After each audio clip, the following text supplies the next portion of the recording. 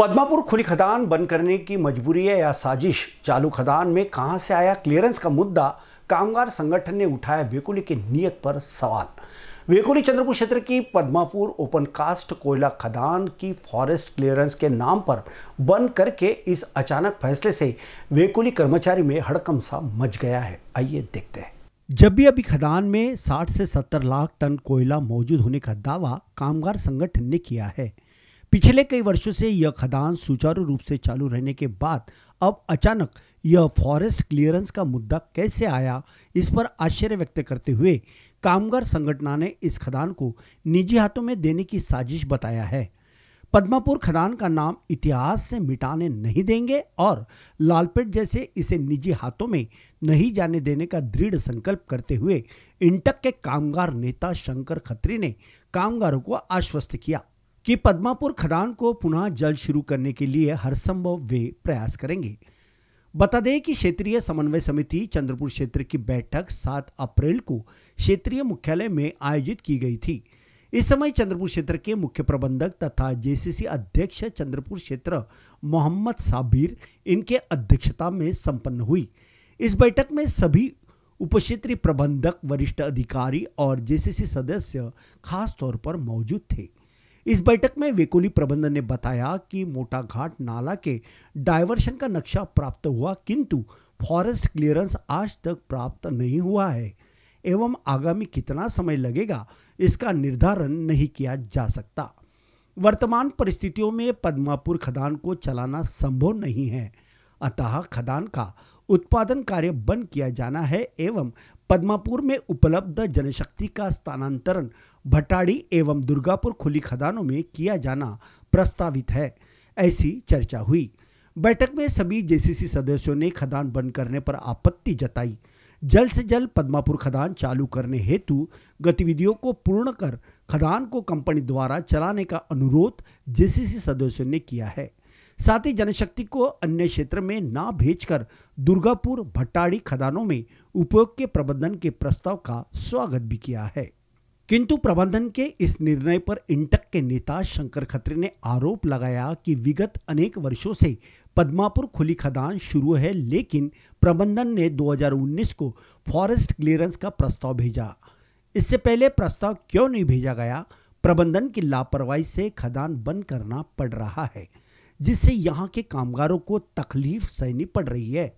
सुचारू रूप से चल रहे खदान में बीच में क्लियरेंस का मुद्दा कहाँ से आया? कहीं इसे निजी हाथों में जाने की साजिश तो नहीं है? इस खदान की स्थिति कहीं लालपेट जैसी तो नहीं करेंगे? ऐसे कई सवाल वेकुली के प्रबंधक के बारे में उठ रहे हैं। उन्होंने कामगारों को आश्वस्त किया कि जल्द से जल्द पद्मापुर खदान को पुनः चालू करने के लिए प्रयास किए जाएँगे। बाइट शंकर खत्री इंटक कामगार संगठन के नेता। चंद्रपुर से बीसीएन न्यूज़ के लिए प्रवीण बत्की की ये स्पेशल रिपोर्ट हाँ। मैं राष्ट्रीय कोयला खदान मजदूर संघ इंटक सचिव के नाते ज़िम्मेदारी से आपको बताना चाहता हूँ कि अभी हम पद्मापुर ओपन कास्ट के टाइम ऑफ़िस के पास तमाम सब साथियों के साथ खड़े हैं। बहुत दुख का दिन है कि पद्मापुर का नाम चंद्रपुर के इतिहास से पूरा खत्म करने की साजिश के तहत ये सब हुआ है। कहने के लिए तो है कि भाई, हम लोगों को बाहर नहीं जाने देंगे, यहीं रखेंगे। लेकिन इस खदान को बंद करने के लिए कौन जिम्मेदार है?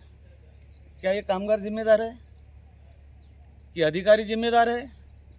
ये ज़िम्मेदारी किसकी है प्लानिंग करने की? प्लानिंग करने की ज़िम्मेदारी है व्यवस्थापन की, और व्यवस्थापन प्लानिंग करता और कामगार काम करता है। आज इस खदान में विगत छः महीने से हम लोग इंटक की तरफ़ से प्रयास कर रहे कि यह खदान कैसे चालू रखी जाए, इसका प्रयास हम लोगों ने किया। पिछले दिनों में चारों संगठन के लोगों को बैठ के भी बातचीत हुई। लेकिन मसला ऐसा आ गया है कि हमें खुद आश्चर्य हो रहा है कि चालू खदान में कहाँ से फॉरेस्ट का तुम्हारा पेड़ दिखने लग गए और उसके क्लियरेंस के लिए तुम अभी काम रुक गया है। जबकि 60 से 70 लाख टन कोयला आज भी पद्मापुर में मौजूद है। आप मोटा घाट नाले के पीछे लगे कि मोटा घाट नाला मिलेगा और किटाड़ी का पुनर्वसन होगा, ये बहुत बड़ा प्रोग्राम है, बड़ा, लंबा कार्यक्रम है। लेकिन ये जो हमारे हाथ में जो था आपने 2019 में क्यों इसके क्लियरेंस के लिए भेजा? उसके पहले क्यों क्लियरेंस नहीं कराए? आज खदान के बीचों बीच फॉरेस्ट आ जाता है और आप अचानक चारों यूनियन को बुला के कल आपने जेसीसी के माध्यम से मीटिंग ली है। मीटिंग में आपने पूरा तय कर दिया कि क्या क्या होने वाला और क्या क्या नहीं होने वाला है। सीनियर लोग जाएँगे, दुर्गापुर जूनियर जाएँगे, भटाड़ी, और जो बीमार लोग होंगे वो आवेदन देंगे। महिलाएँ रह जाएँगी तो उनको आवेदन देना पड़ेगा। उसके बाद में उनको विस्थापित किया जाएगा।